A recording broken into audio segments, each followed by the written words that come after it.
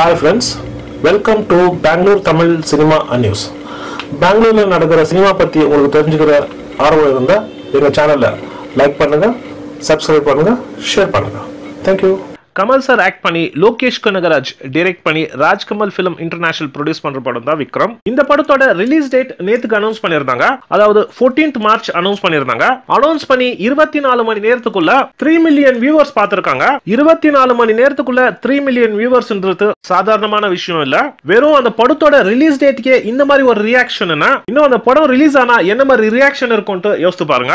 Kamal sir படம்னாலே audience முன்னாடி ஒரு தனி அட்டென்ஷன் இருக்கும். அதுலயும் ராஜ்கமல் பிலிம் இன்டர்நேஷனல் ப்ரொடியூஸ் பண்றாங்கன்னும் போது அந்த படத்துங்களுக்கு அதிகமான எக்ஸ்பெக்டேஷன் இருக்கும். காரணம் கமல் சார் ஆக்ட் பண்ணி ராஜ்கமல் பிலிம் இன்டர்நேஷனல் ப்ரொடியூஸ் பண்ண அந்த படங்கள்லாம் மிகப்பெரிய சாதனை பண்ணியிருக்கோம். ஃபார் எக்ஸாம்பிள் ராஜபார்வையிலேருந்து பிடிச்சி விஸ்வரூபம் டூ வரைக்கும் கமல்ஹாசன் ப்ரொடக்ஷன்ல வந்திருக்க அத்தனை படமும் ரெகுலர் கமர்ஷியல் படமா இல்லாம டிஃப்ரெண்டாவும் மீனிங்ஃபுல் படங்களா இருக்கும். விக்ரம் படத்தோட ஒரு ஒரு அப்டேட்டும் நம்ம கொடுத்துட்டே வந்துட்டு இருக்கோம். எல்லாமே சொல்லியிருந்தாங்க விக்ரம் படத்துல பாட்டே இல்லையாமே அப்படின்னு சொல்லியிருந்தாங்க.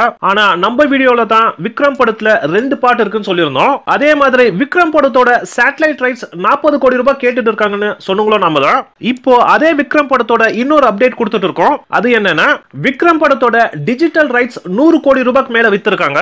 அதாவது அந்த படத்தோட பட்ஜெட் என்ன இருக்கோ பட்ஜெட்டை விட இருபது பர்சன்ட் லாபம் வச்சு டிஜிட்டல் ரைட்ஸ் வித்திருக்காங்க. ரிலீஸ்க்கு முன்னாடியே இருபது பர்சன்ட் லாபத்துல விக்ரம் படத்தை பிசினஸ் பண்ணிருக்காங்க. டூ தௌசண்ட் டுவெண்ட்டி ஒன் நவம்பர்ல ரஜினி சார் ஆக்ட் பண்ண அண்ணாத்த படம் ரிலீஸ் ஆச்சு. அந்த படத்துக்கு நல்ல ஓப்பனிங் கிடைச்சது. ரஜினி சார் படத்துக்கு அப்புறம் எல்லாருமே எதிர்பார்த்துட்டு இருக்கிறது கமல்ஹாசன் படம் தான். அதாவது அந்த வருஷத்துல எந்த ஹீரோட படங்க ரிலீஸ் ஆனாலும் ஃபார் எக்ஸாம்பிள் விஜய் சாரோட படம் ரிலீஸ் ஆனாலும் சரி அஜித் சாரோட படம் ரிலீஸ் ஆனாலும் சரி இந்த படங்கள்லாம் ரஜினி சாருக்கு போட்டியாவே இருக்காது. அதே மாதிரி தான் கமல் சாரோட படம் ரிலீஸ் ஆச்சுனாலும் ரஜினி சாரோட படங்க தான் போட்டியா இருக்கும். இது கிட்டத்தட்ட நாற்பது வருஷமா நடந்துட்டு இருக்கு. எப்பவுமே நம்ம கம்பேர் பண்றது ரஜினிகாந்த் கமல்ஹாசன் விஜய் அஜித் தான் கம்பேர் பண்ணுவோம்.